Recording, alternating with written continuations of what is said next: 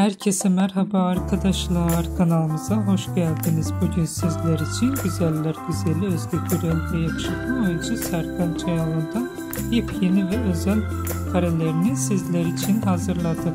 Serkan Çayoğlu ve Özge Gürel çifti Kiraz Mevsimi dizisinde Öykü ve Ayaz karakterlerine hayat vermiştiler. Biz de sizler için onların güzel ve romantik karelerini hazırladık.